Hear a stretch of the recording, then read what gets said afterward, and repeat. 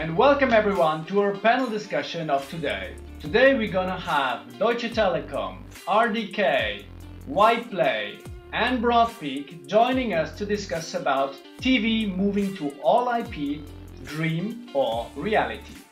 My name is Andy Waltenspiel, and my consultancy is working with thought leaders, game changers, and innovators of the media and telco industry. Today I'm excited to be moderating this panel with fantastic guests. So let's look who do we have as a speaker. So we have Pedro Bandeira. Hola Pedro.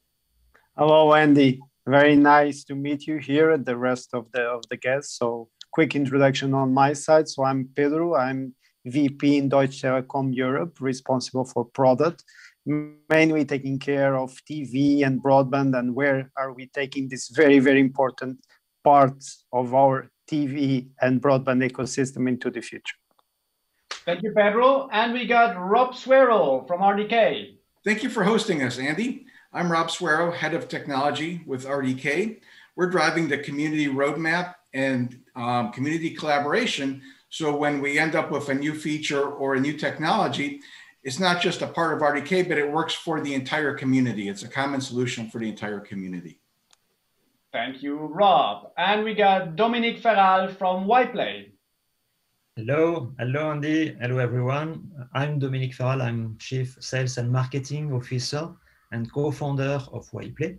So at Wyplay, we help TV operator to um, provide a solution which resonate with uh, end user experience. Um, as an example, we solve the goal shouted 10 seconds in advance in the apartment next door or, or the goal notification that you will get on Twitter in advance. You can call it system integrator, uh, TV expert. This is uh, what we do with uh, tier one companies such as Canal, Telefonica, DirecTV for more than a decade. Thank you, Dominique. And last but not least, Xavier Leclercq from Broadpeak. Hi, everyone. So yeah, my name is Xavier. I run business development here at uh, Broadpeak. Broadpeak is a provider of video solutions, a solution you can use to store and deliver uh, video onto various IP networks. And I look after strategic relationships with partners and customers. Great. Thank you all. Fantastic to have you here in this panel talking about TV moving to all IP, dream or reality. Let's start maybe with Pedro. I mean, dream it was in the past. I think it's becoming reality for you to move to all IP. Maybe tell us a bit about Deutsche Telekom's journey for Europe, which is your realm. Where are you? Where are you going? And what are some of the key challenges you're facing? Oh, the dream is becoming a reality. I think that's the that's the first message. So it's already a reality in some in some of our countries.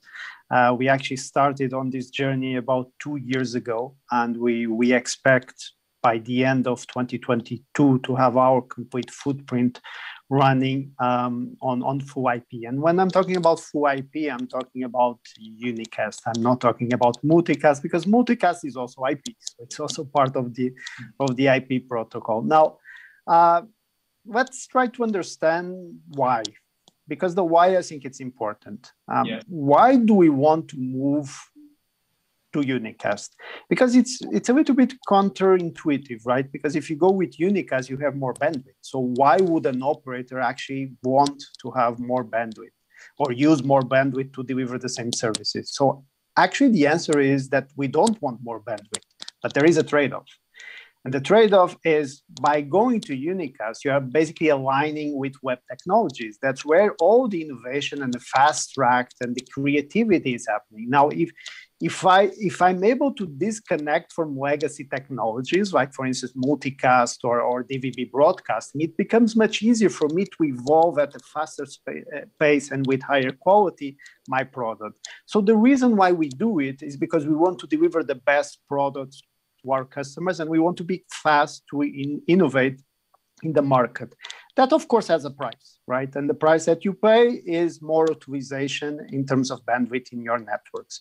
But if you think about it, and if you think about the growth of broadband in the, in the last five, seven years, actually that growth is already happening. So, so the question that we as operators need to, need to answer is, can we somehow fit this into the growth of our network that is being supported by the broadband by the broadband usage and, and, I think depending on the network and depending on the specific country, the answer might be yes already or no later on. But there is no denying that the vision is there and the clear path is there. We'll get there. We'll get there at different speeds in different com- uh, countries, but no one doubts that that's where we are taking our, approach to video delivery.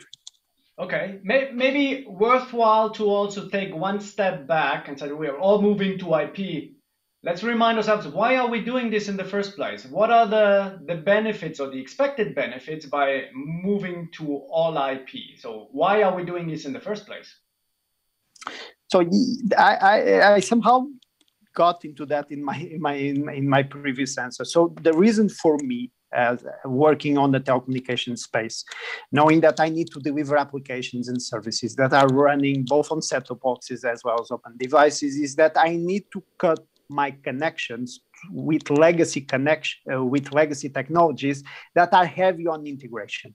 Because those legacy technologies that are heavy on integration are slowing me down Uh, in terms of cost, but also in terms of speed to innovate and, and, and, and the overall resilience of, of, of, my solution in terms of the product that I deliver to, to, to, to my customers. Just to give you an example, for instance, the actual support of multicast in a set-top box is something that is that that is done mostly on, on the SOC level. So we need specific support from from the SOC vendor. So and and that creates complexity that creates uh, delays that creates also additional work in terms of integration. Not only when you do it once but also further down the road because you need to maintain it. You you need to to, to manage the life cycle of, of that solution. I don't want that I want to be on even ground with the web providers because the web providers are moving at a high speed in terms of, of innovation, and I need to match that. And I cannot match that if I'm overweight, overweighted, and I will be overweighted if I needed to carry those those legacy solutions. Of course, as I mentioned, there are no free lunches. So by yeah. doing that, I'm putting extra load on my network. Yes, we understand it, but also, like I mentioned, we need to fit that in into the growth of broadband that we feel on the majority of the countries in which the evolution to fiber is happening very very quickly. That should be something that should be we should be in a position to manage. Okay. Thank you pedro. Xavier you're working with tier one operators around the globe whether it's cable fiber whatever delivery mechanism and some of them even have a lot of bandwidth have moved to multicast. Why is that? What's in for them, and uh, what's their thinking? Yep. So uh, just to um, bounce off, right? I think um, multicast uh, is an interesting technology, right? And when you look at why some of the largest operators are moving to multicast, there is the idea of scalability, right? So uh, being able to have um, streams going through the network that will not overwhelm uh, the network, will not create choke points. So here with multicast technology, you can basically scale your live delivery in a very elegant way, right? So that's the first aspect. But the real driver when we talk to customers, and if you look at uh, the number of the multicast uh, deployments we have, we're talking about multicast ABR here, um, the vast majority of them on fiber networks, right? Which is interesting. You have a lot of bandwidth on fiber networks, and this is where we see demand. And the way maybe to explain that is that typically when operators are building new infrastructure, so it may be, um, you know, I'm thinking about a cable providers, for example, in Mexico, building out new um, footprints on uh, fiber, they basically look, look at the technology at what's available, and they found that multicast ABR is an interesting um, combination of technology because it gives you basically the scalability of multicast, but also the versatility of ABR. And this is what Pedro was alluding to, right? You want your content to be on ABR so you can move as fast as the web uh, players. But if you can scale it with multicast, that's an interesting combination, right? So it's both being able to do the scalability and the quality, um, knowing that when you use multicast, you guarantee delivery, right? Multicast takes precedence over uh, unicast, so you're less likely to run into rebuffering, you're less likely to have drops in quality. You typically have a better experience when you deliver with multicast.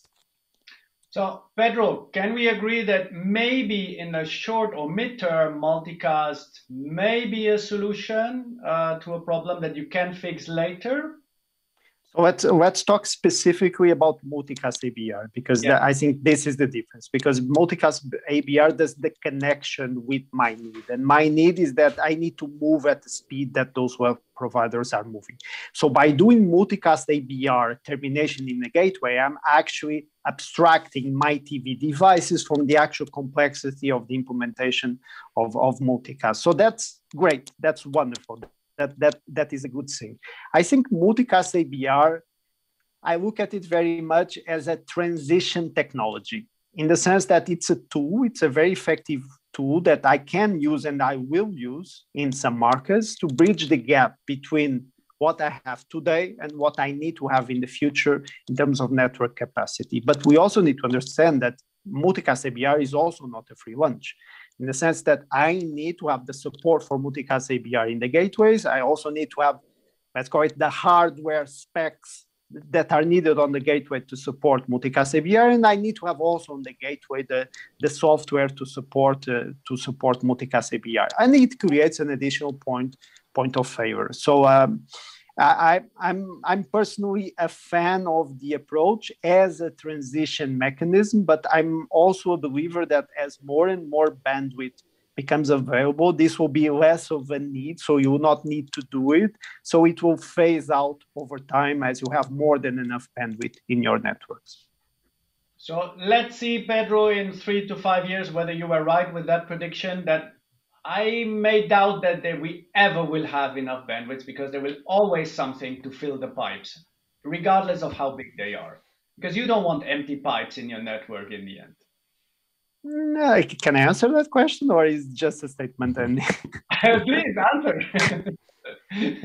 I, I, I think I think everything that goes up eventually comes down, right? As you add more and more bandwidth, it actually we are getting to a point in which we don't need the bandwidth and listen, if you think about it, what today is driving the growth in bandwidth, it's not applications, it's more devices in the household. You have more and more devices in the household that by themselves in the background are always doing stuff like uh, or operating system uh, updates, app updates, and, and, and, and, st- and stuff like that. So as we all have more uh, uh, devices in the home, yes, bandwidth is, is, is going up. Yes, we'll have a second wave of more devices in the home, like the fridge is connected to the internet, the microwave oven, everything. But it will only get you that far.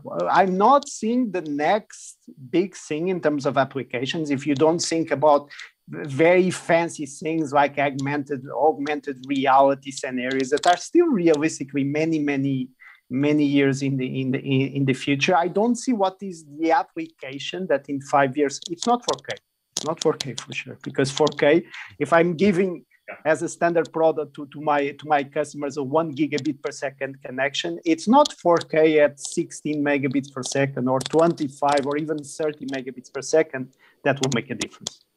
Yeah agree. So let's see let's stay tuned. There's more to come for sure. Rob from your side, uh, how does RDK get involved in that? You're on RDKB, you're on RDKV. Where do you see things like multicast ABR happening, and do you have a preference where it should happen? I don't have a preference. It's a journey, and you know, like you said, and I, I think the majority of operators are looking at landing at all unicast some point in the future.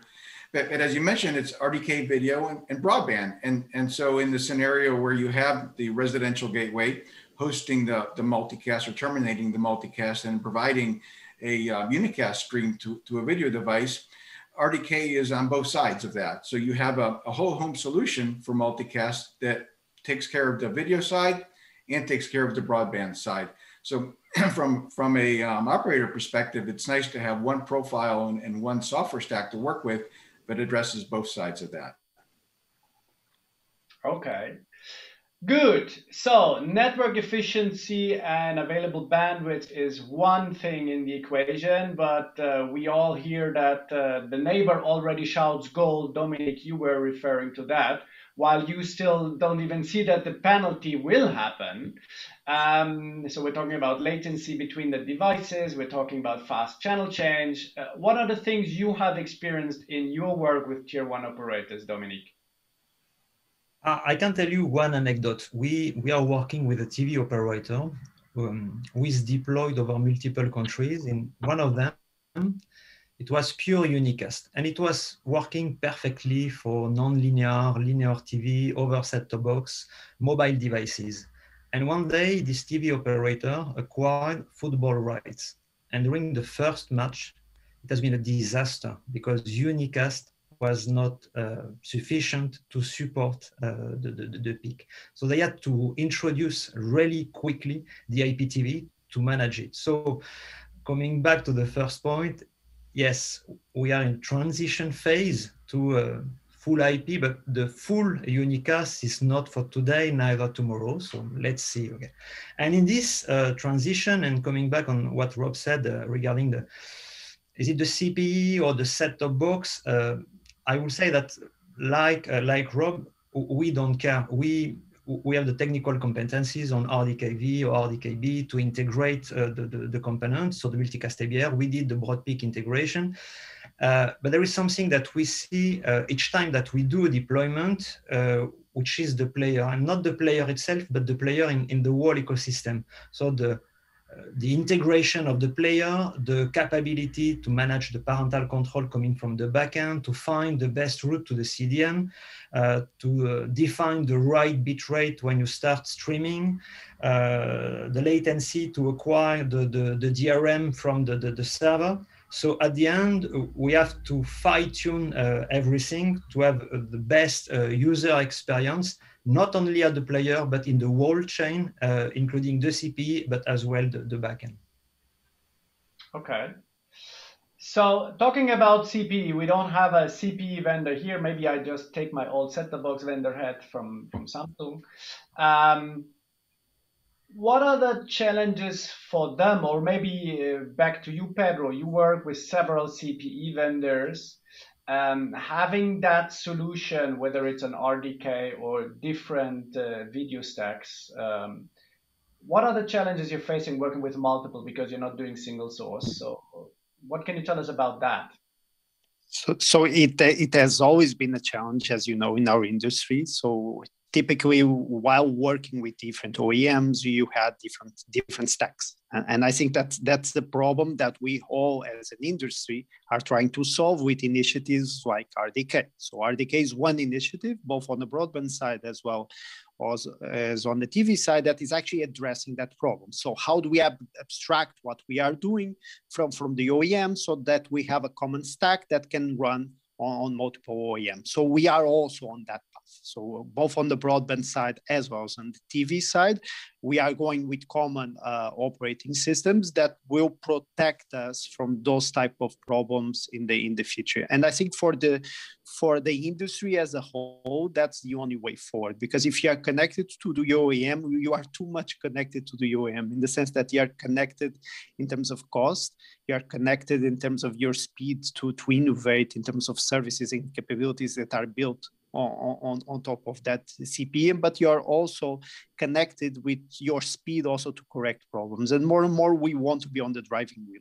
Uh, uh, driving the car. We we don't want to have a partner that we don't know if they will be around in two years' time or if we will be a priority for them in two years' time to, to, to do that. So for us as an operator, control of our touch points, the devices that we have in the customer home is of the utmost importance for us in the future because it's on that software that I'll be able to create on top of the enablers. And RDK is just an enabler, it's not a differentiator. So it's something that we need to have.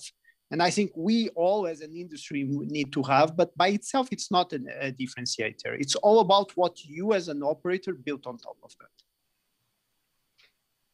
Rob, I'm sure you have things to add on that. Uh, uh, I always thought it was a differentiator. It was the greatest thing.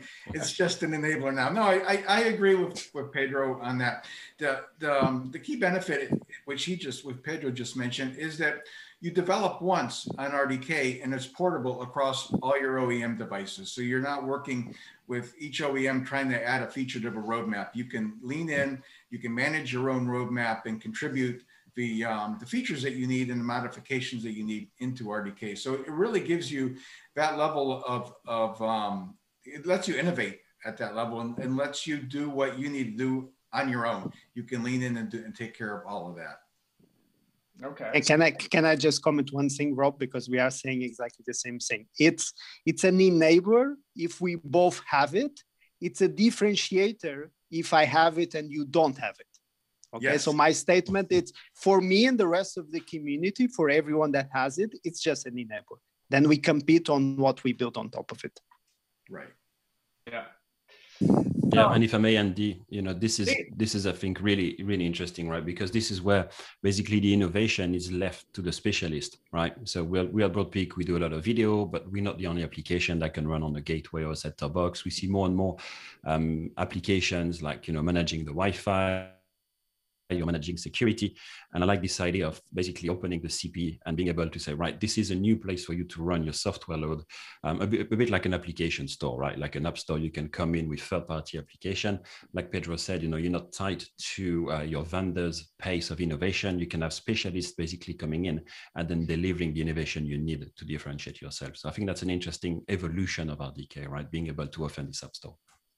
Yeah, but still, it isn't like that you take RDK out of the box and it will work for all your use cases. You need to still do some tweaking. And Dominique, you were talking about some of them, adjusting it to the player, doing the fine tuning in that. Um, so tell us a bit about that. Yeah, the, the, the, point which is funny is that we are all evolving um, in an ecosystem where everything is open and it's free and it's true and RDK is really the, the, the perfect example uh, to, and it's really attractive because uh, it gives the opportunity to everyone uh, to develop themselves their product. However, it's not so, I would say, easy. And um, we have been uh, called by a TV operator to help them. They design themselves uh, an OTT uh, set-top box and when we arrived, the, the zapping time was at nine seconds. So it's uh, totally uh, incredible and unacceptable. Uh, so we helped them to, to fine tune and we went down to three, four seconds. So I would say that if there was just one sentence to, to remember, uh, I would say that uh, open and free does not mean easy. And basically, that's where we play. Okay. And uh, Rob, you work also with several system integrators, I assume, right? So that you give to whoever wants to implement RDK on the B or V side. Uh, so you have a program for that. Is that? We, we, we do we, we do have a, a support program for that, a um, preferred program, and and um, a big part of that is is is getting integrators, getting Dominique um, to to um, be able to go into the RDK software and, and know exactly where he can cut six seconds off of a tune time and, and support him in that way. That that's huge. And, and just as important would be if he would contribute those six seconds back to the general code base so we could all benefit from that. But I, I understand everybody wants to, to differentiate themselves as well. Yeah. But, but um, we, we do have a, a a very robust community um, of I think over 430 now uh, members, with a large number of that being system integrators. Dominique's one of our favorites, obviously. but Rob, maybe let's stay with you for a second. Sure. So if you have a, an operator that says, okay, I'm considering RDK either on B or on V, what are the recommendations other than yes, go with us? What are the recommendations you give him to say, let's make it with the all IP uh, target in mind? What are the recommendations you give him? How to do it, how to get there most efficiently and fastest? Well, if, it, if it's an operator starting with RDK, I, I would suggest that they, they not put everything on their entire roadmap as an operator into this first deployment. You, you know, do the, the crawl, walk, run phase and, and get a get a device running, get your application running in your user interface, and then expand out from there to other elements of the roadmap. But like I mentioned, we're a really big community. So the most important advice would be don't do it alone. Work with somebody who's done this before, reach out to one of our system integrators and, and let someone help you along on the journey. And, and the, the other um, advice I would give is most people in your organization probably have day job already. So, so look to bring some some UIs onto this and, and dedicate them to this. Don't just add this to their task list. good point about mindset and organization. Uh, Pedro, since you're in the middle of it, uh, from your experience, what is the golden way to organize such a big transition from broadcast to all IP? Can you just keep the same guys in the same position, just do something different, or how does it work? It's it's a tough question, and uh, and I think it applies also to a lot of other areas in which, on the telco side, we are going through transformation. So, we should always respect the people that we have in the company and that are working, call it, on legacy things, and try to give them uh, an opportunity to to evolve and to, to acquire skills that will be enable them to work in, in, in other areas. And this this is one example. So getting someone that was, for instance, a broadcast expert and transform him into a let's call it a streaming expert. Is it simple? No it's very complicated. And uh, i think you know some of the skill sets that you need when you do the transition to ip you don't have in the legacy profiles that we're working on the on the broadcast side. So the all the experience around ip routing uh, security applications that's all missing. Is it impossible? No. But I, I think my experience tells me that the percentage of people that you actually get to to transition is is much smaller than what you'd hope. So I think it's 20%, um, uh, something like that. So it means that we need to fill. We need to get people that are coming from other areas, uh, even other areas in the company or other areas outside the company, to to come in and join and help us on this transformation path to to to OIP. Um, like like in all transformations it, it takes a toll. In this case a human toll. This is not only happening in this transformation. This is happening all across the different areas on the telco side as we go on this journey to become full digital um, operators. Um, and it's something that we need to be very careful because everything that has a human impact we need to have a lot of respect and try to do it in the best possible way for for everyone. So we try as much as possible to find future opportunities for, for, for, everyone. We try to invest in, in qualification. We try to move them to new things. At times it's possible, at times it is not possible. Okay. So what do you think uh, the larger challenges don't lie in technology, they rather lie in organization and mindset transformation? There are big challenges on mindset, right? If you have been doing the same thing for 20 years, it's difficult to change your mindset.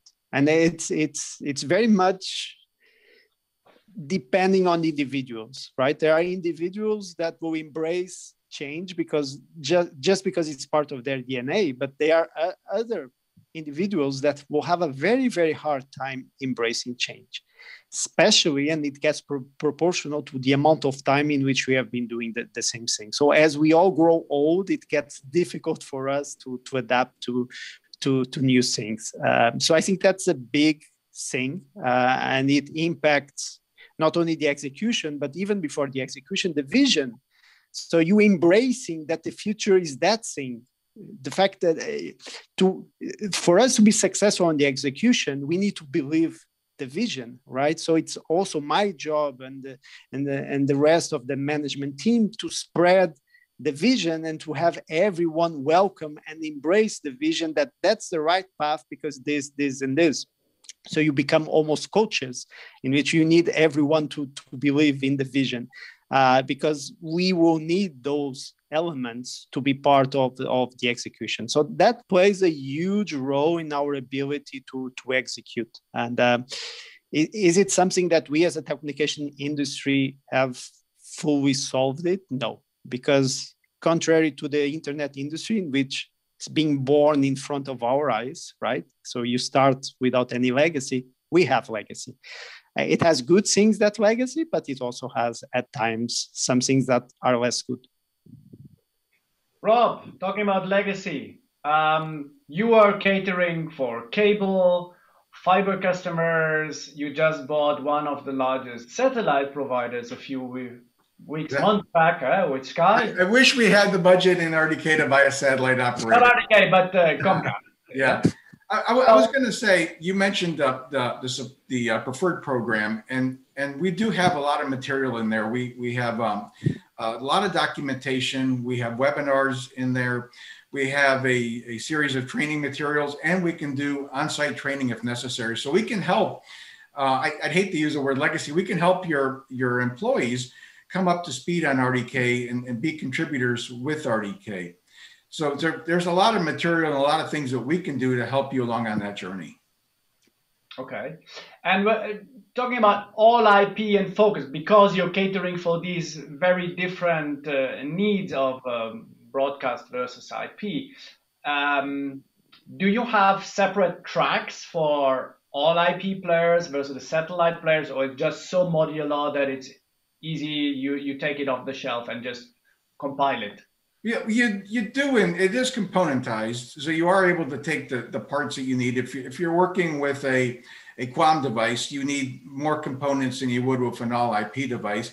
But you do pull those together. It's it's based on Yocto, and you use that to pull in the elements that you need for your build. So very much so. Okay. Xavier, on your side, um, do you have a lot of legacy from the old broadcast world, or are you one of these born in front of Pedro's eyes that are all IP native right from the start? Yeah, that's a good question, Andy. So, you know, when you look at what the industry's been doing for the last 15 years, delivering content over IP, right? What is interesting is we've done IP for, for a long time, right? And Broadpeak is um, was 10 years last year, actually. And what we used to do was IPTV, right? So we mentioned it at the beginning, sort of uh, multicast to one screen, right, to the set-top box.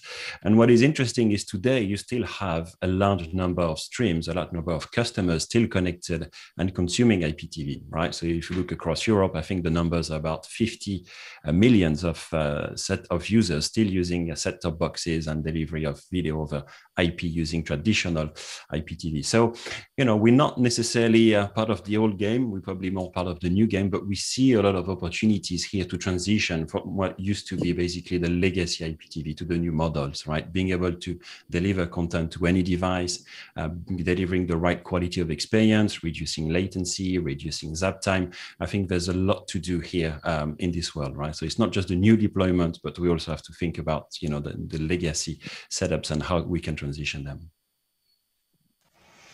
Thank you, Xavier, for that. Uh, Dominique, uh, you have partners all over the planet. Um, some are moving IP, some are a bit slower.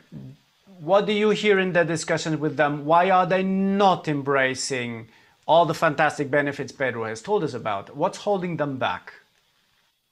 basically uh, the, the, the maturity of the countries uh, is not the same when you compare Germany and, and, and, South America. So clearly the dynamic is different and uh, and for some countries the satellite for the time being uh, stay the, the best solution to deliver uh, live TV having the unicast for all the non-linear consumption. So I would say that legacy is our day-to-day life. So um, we have to work with really uh, all solutions which have been deployed and try to extend the life duration uh, of these uh, set-top boxes. What's funny is that um, we are often in touch with uh, all the old boxes with uh, basic IP connectivity without uh, dash support or HLS or any, I would say, adaptive uh, streaming mechanism. So we have to uh, add this uh, capability uh, on top of the set-top box. And for this type of operator, moving from one old proprietary operating system to the to the new one, to, to RDK as an example. One point which is interesting is that at Wyplay, we are coming from Linux. Uh, so it, it, has been a normal evolution to, to, to move to RDK. Uh, I will say quite easy to train internally uh, all our software developers to be uh, uh, really professional on, as well on the video and, and on the on the gateway. So uh, I would say that the transition for any um, legacy operator to move to this new technology is, is quite easy. Okay. So let so legacy will go away in one point. Um, the question is, how long will it take? And let's maybe talk about Central Europe or maybe Western Europe. Um, what is your bet? How many years will it take until we are there in all IP? Pedro, you mentioned 2022. That is fast. Uh, do you think that's for the majority of the, the operators? This is introduction, right? This is the point ah, in which okay. you start. It's not the point in which you finish, right? Well, what you need to understand is that we we should not drive this as investment, right? So it's a technology uh, transition. Um, we don't drive migrations for the sake of, the, of technology. So what will happen over the coming years is that customers will evolve let's call it to these new offers through commercial upsell. So in a natural way, you evolve to this product because it's a new, better product than the legacy product that you had. I'm not actively trying to migrate without any incremental benefit to me as an operator these customers of course we will reach a point in which we have so few customers left in the in the old technologies that we need to find a way to migrate them and shut it down is it happening happening anytime soon? No. Uh, so i think I think that the front read, even for for the front reading customers, it will take them at least five years to, to be in a position to do uh, something like that. So I think it will still take a very long time for for the old products, for the old technologies to to disappear completely. So just for clarity, when I mentioned 2022, that's to start the process because you launch right. a new product, you launch a new service, and then you need to migrate your customers commercially because that's the best way for us as operators to, to preserve value. You need to migrate those customers over time. Absolutely. Yeah. and okay. maybe just to bounce on that if i can and yes, yeah, I think it's also the ecosystem that's maturing, right? Pedro is describing how we start and how we get there maybe in five years. I think we also need to look at initiatives like RDK, making it easier to basically innovate, but also the broader ecosystem, right? I'm thinking, you know, standardization of technologies, you know, more ABR everywhere, mm-hmm. things like, you know, DVB IP native um, standardization. So you can put ABR on any networks, whether it's satellite, GTT or, or others. So I think it's very much the, you know, giving momentum to the transition and we still still at the beginning right now, I think. Okay, good point. Um, Rob, on the US, do you see similar timelines or are they further ahead, farther behind? What do you think? I, I, I would say I see similar timelines, but, but legacy always lasts longer than you think it will. It, it always, and, and then at some point, the new stuff becomes legacy as well. And, and that's, uh, again, another area where we think we differentiate ourselves is is we don't end of life legacy devices or support for those. We work with with our partners to support legacy devices as long as they want to run them in in their networks. So we're we're that's one of the things we really try to do is is enable these operators to run legacy forever if, if that's what they want to, or even if they want to sell them somewhere else and support them in an, in another operator. So that's an area we think is is really important to support. Great. Great. Partners, partners, partners. Dominique, you want to yeah. add to that? Yeah, something fun uh, based on what you said, Rob. When we created Wyplay, it was back in uh, 2006, mm-hmm. and we were in a process of raising money, and we met a lot of investors, and some of them said, "Guys, what are you doing with the set-top box? The set-top box is dead.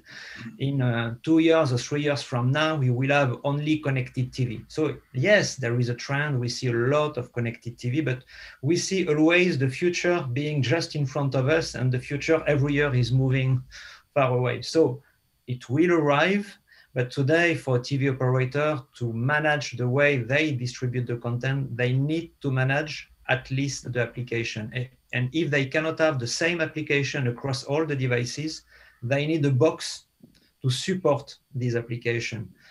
And um, so it's not for tomorrow. Okay.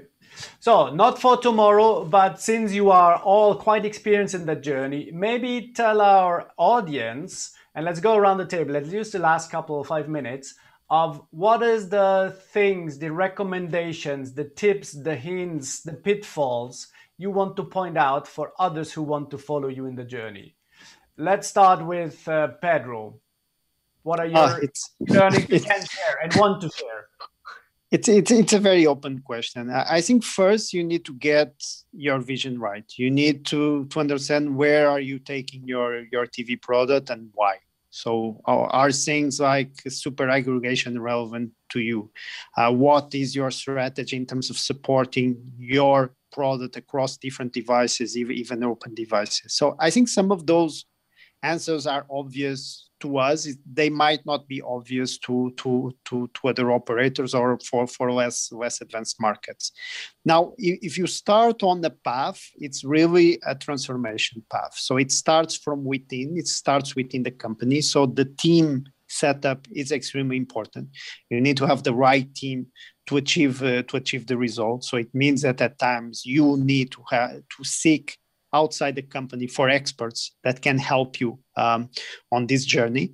Uh, but like everything in life, the good balance is a good mix, right? So it's also very important to get the right partners for what is not business critical or business differentiator. So companies like Broadpeak and then Wyplay, and forgive me if I say so, but for me, the streaming part of it, it's not a business differentiator is something that I need to have, needs to work very well, very resilient, needs to support all the latest standard.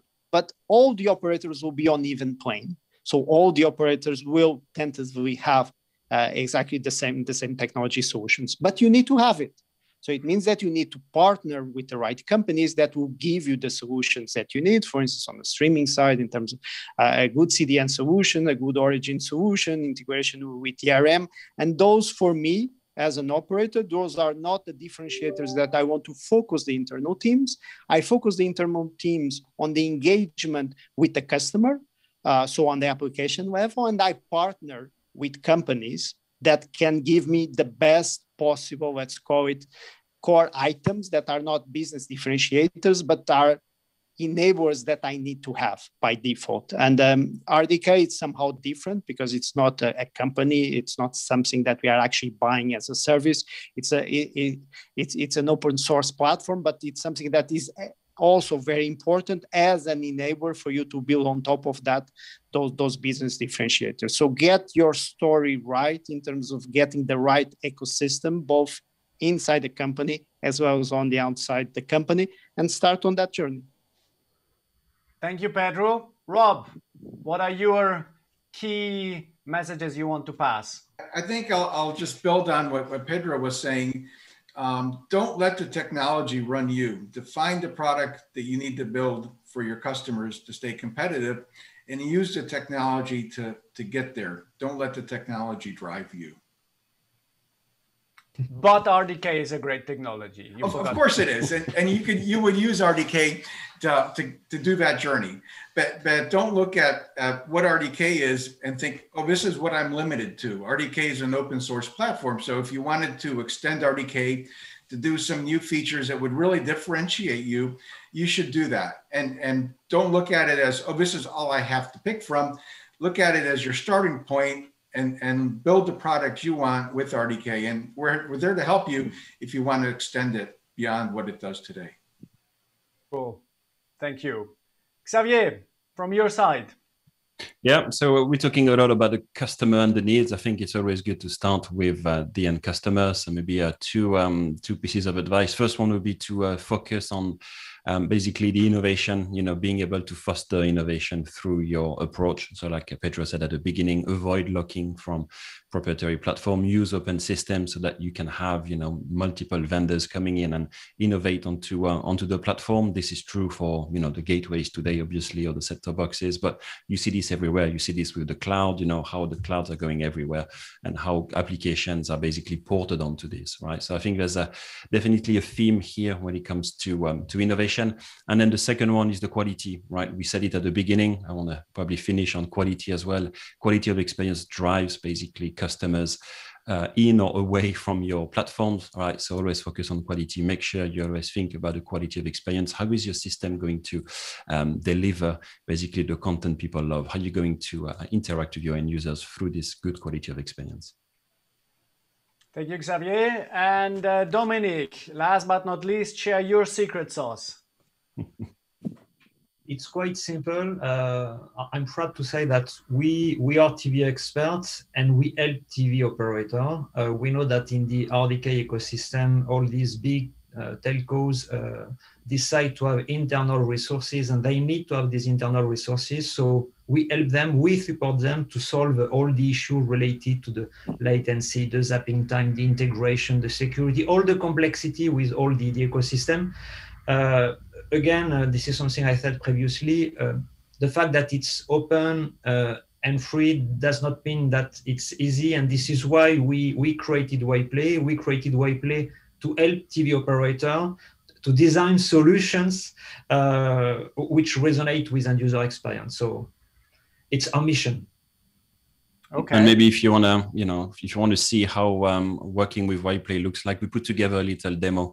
Um, it's available on the website. You know, if you look it up, you'd see how the integration works. You know what the demo, uh, what the solution can do. So there's, uh, you know, a little video for you too.